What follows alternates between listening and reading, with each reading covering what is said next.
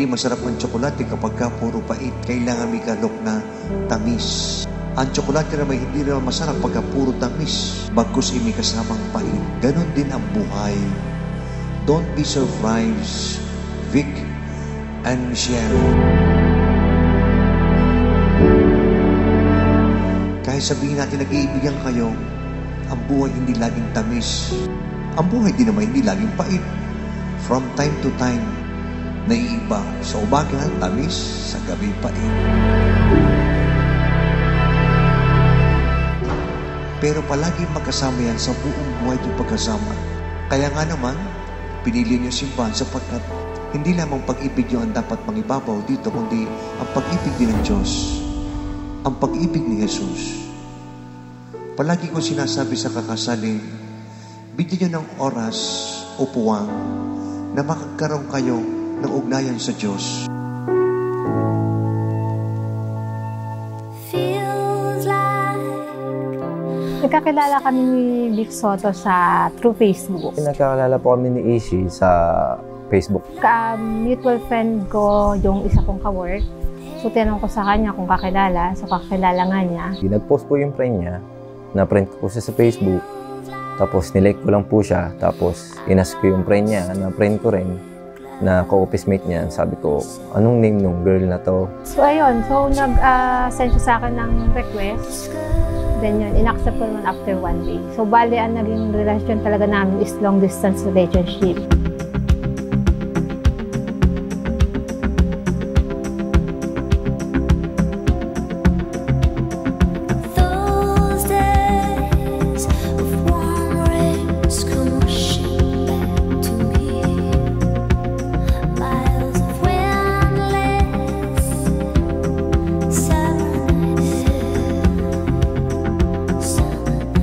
Nagustuhan ko talaga sa kanya is mabait.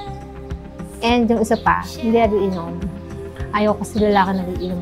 Nagustuhan ko sa kanya, hardworking, na talaga, ano, gagawin niya yung, pag may gusto siyang bagay, talagang hindi siya titigil lang, hindi niya yun nagagawa. Say,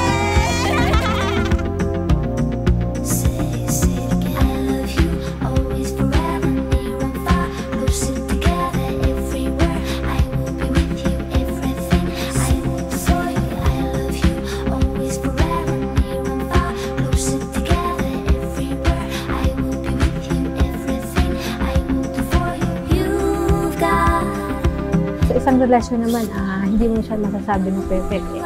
So may mga napapatalungan, mga alam mo yung mga duda-duda ng mga girls. So yun lang. So napapagtagumpay naman. Kaya dumating kami sa punto na magpakasal.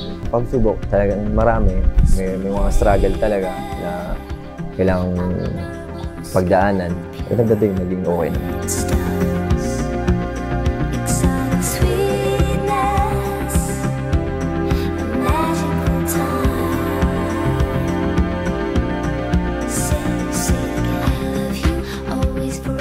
Vic, at the end of the day, tatawag kayo sa Diyos. Kaya habang nasa tamis, tatawag ng Diyos. Pag dumating ang pait, pa rin. Araw-araw, ang inyong pag-ibig ay samahan niyo ng Jesus. Sa pagkukulangin kayo. Ikalawa, bulaklak. Ang buhay niyo ay isa para tsokolate at may tamis at pait, pero nadyan ang halimuyak ng bulaklak.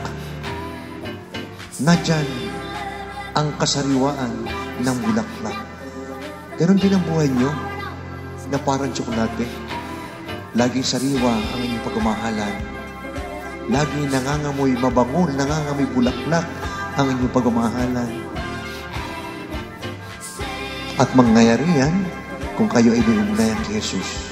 Wherever, near and far, and always everywhere and everything. Han, ah, thank you kasi ah, dumating na yung special day natin. Alam ko matagal mo na ako inaaya pero hindi pa rin. Niyak ako. Yung pag-isip ko na kailangan na. Ang kailangan natin lumagay sa tahimik. What I mean is magpakasal para bumuo ng pamilya. Thank you, Vic. Mahal na mahal kita. Message ko lang, tuloy mo lang yung ginagawa mo, enjoy ka lang, always pray. Nandito lang ako para sa'yo. I love you.